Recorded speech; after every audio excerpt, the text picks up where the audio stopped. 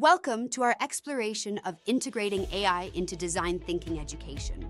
This research delves into how AI applications can enhance the teaching of design thinking, offering a more engaging and effective learning experience for students. Design thinking is a creative problem-solving approach that encourages innovation. Traditionally, it involves simple tools, but with the rise of AI, there's potential to integrate technology into this educational process, enhancing creativity and problem-solving skills. Generative AI, like ChatGPT and Midjourney, offers new opportunities in education. These tools can support ideation and brainstorming, but they also pose challenges, such as potential over-reliance and ethical concerns, which educators must navigate carefully. AI's role in education is paradoxical, offering both support and challenges. While it can automate tasks like grading, it also raises questions about academic integrity.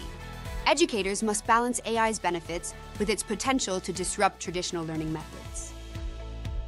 In design thinking, AI tools can enhance the ideation phase by generating diverse ideas and visualizations.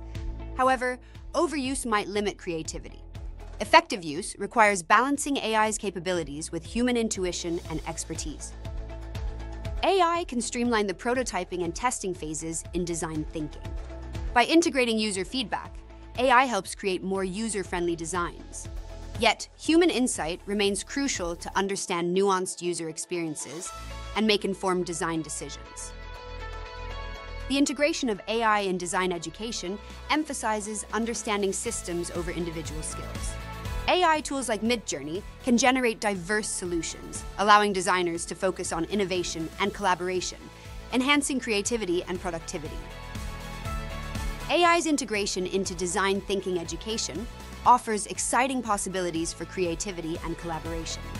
However, educators must address ethical concerns and ensure students develop critical thinking skills. Thank you for joining this exploration.